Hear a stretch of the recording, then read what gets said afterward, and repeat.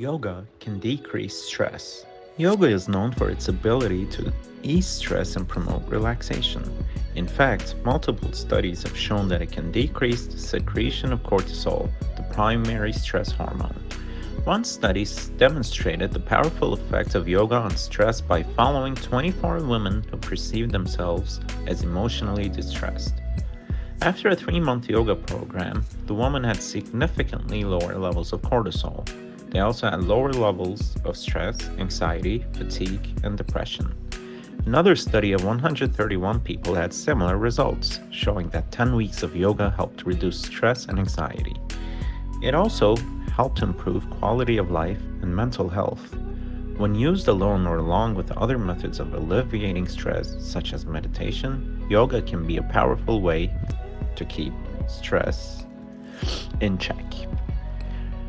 It relieves anxiety. Many people began practicing yoga as a way to cope with feelings of anxiety. Interestingly enough, there is quite a bit of research showing that yoga can help reduce anxiety.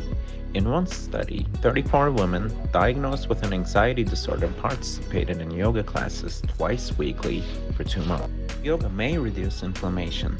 In addition to improving your mental health, some studies suggest that practicing yoga may reduce inflammation as well.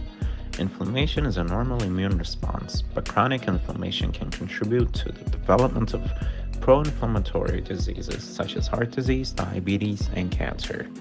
A 2015 study divided 218 participants into two groups those who practiced yoga regularly and those who didn't.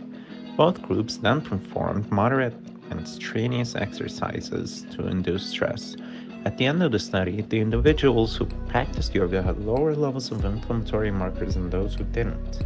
Similarly, a small 2014 study showed that 12 weeks of yoga reduced inflammatory markers in breast cancer survivors with persistent fatigue.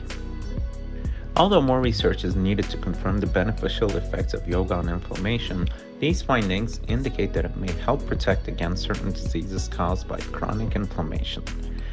Yoga can also improve heart health.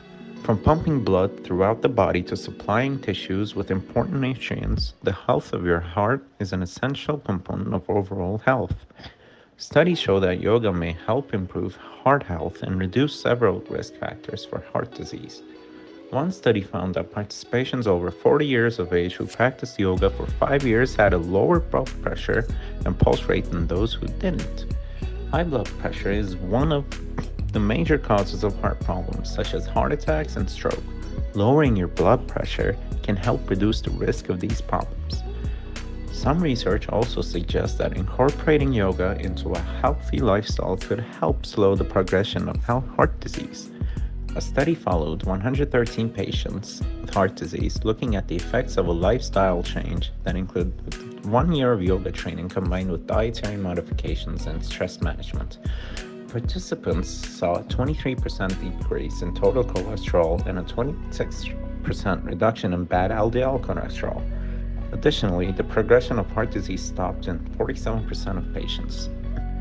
It's unclear how much of a role yoga may have had versus other factors like diet, yet it can minimize stress, one of the major contributors to heart disease.